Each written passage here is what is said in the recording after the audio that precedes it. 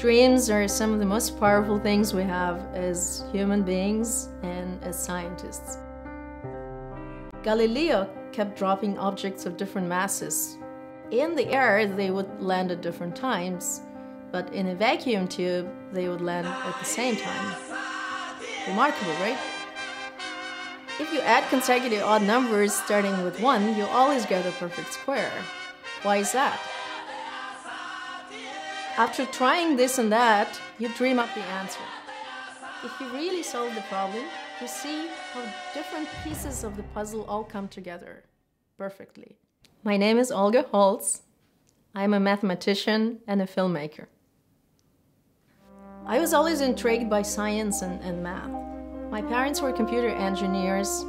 My grandfathers both were in physics. So as a kid, I would actually try any puzzle I could get hold of or baby physics experiments with magnets and electricity and all that.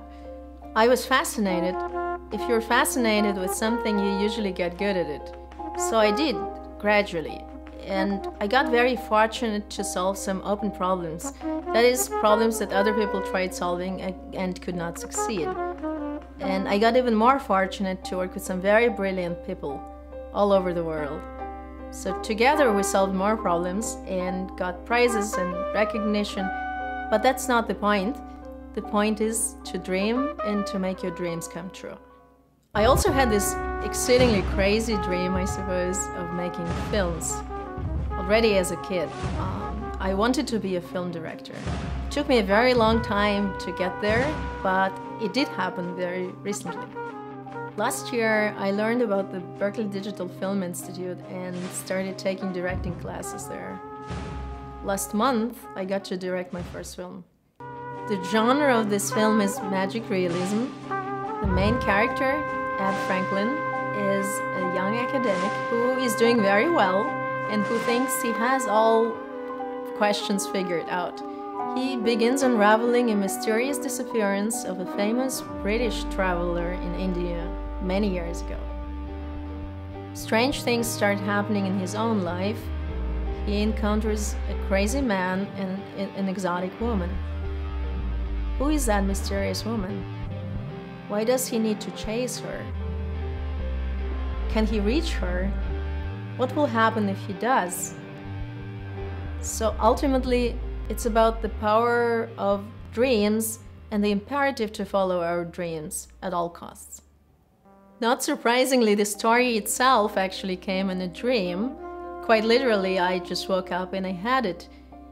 It was inspired by a story of Jorge Luis Borges about the magic object that gets people obsessed, uh, the Zahir. So I decided to call my story the same, the Zahir.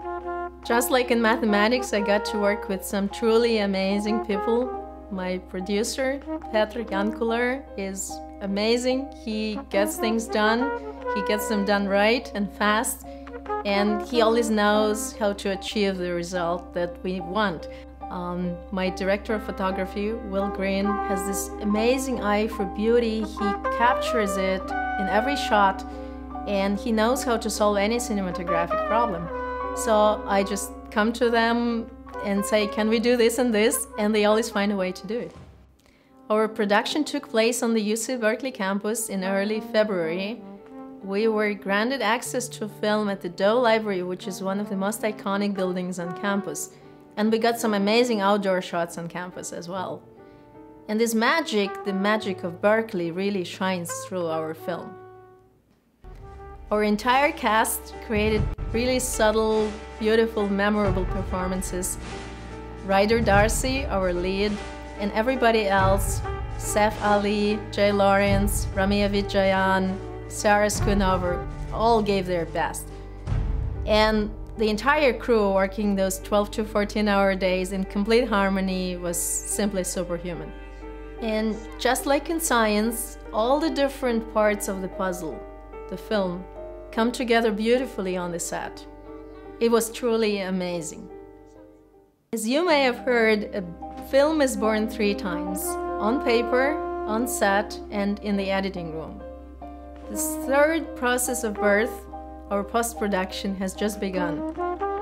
We are asking you to be part of it and to help us with this process. We got great footage and we need to do the kind of post-production that this footage deserves. We already have a rough cut which looks great in terms of actors' performances and photography. To bring it even higher up, we will invest in an additional production day. For that, we plan a series of cool shots of the protagonist chasing the woman of his dreams. These are all rather ambitious moving shots requiring special equipment, and we will get them right. We still need to do a lot more. After this last day of production, the film will go through further professional editing. It will then be sent to a post house where a professional colorist will work on color grading. It will also go through a round of visual effects and a round of high-level sound design. We are in fact currently in talks with a well-known French-Lebanese composer, Ibrahim Maalouf, about using some of his beautiful music for our film. Everything that I just described obviously will require substantial investment.